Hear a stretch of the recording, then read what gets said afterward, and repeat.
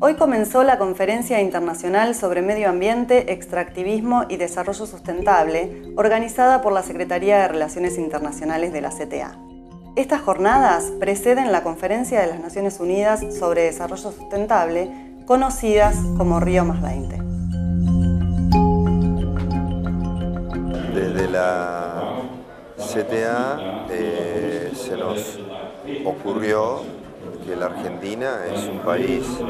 no solamente rico en biodiversidad,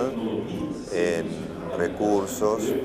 naturales, sino también es rico en personas, en historia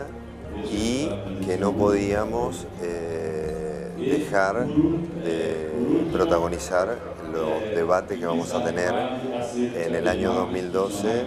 en el territorio latinoamericano.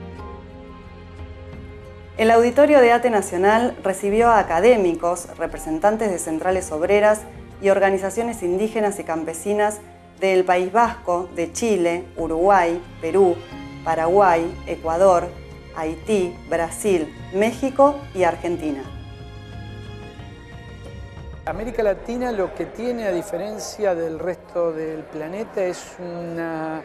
en términos diferenciales con el resto del planeta, tiene una gran biodiversidad y una gran cantidad de recursos que la hacen un botín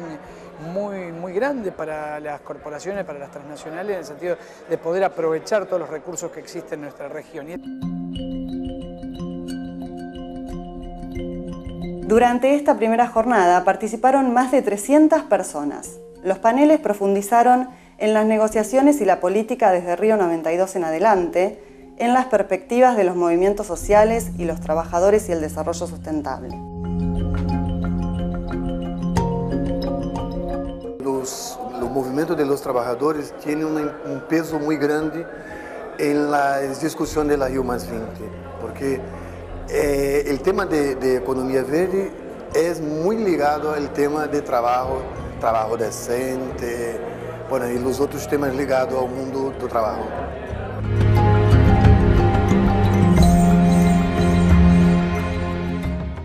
Nosotros creemos que en la cumbre oficial no, no saldrá un texto consensuado y aceptable, pero sí creemos que de una manera paralela tenemos que trabajar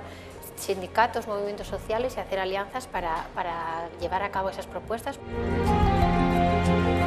El jueves 29 se hablará de las alternativas al modelo extractivista y al finalizar la tarde tendrá lugar el cierre de la conferencia donde se preparará la hoja de ruta hacia la conferencia de Río más 20.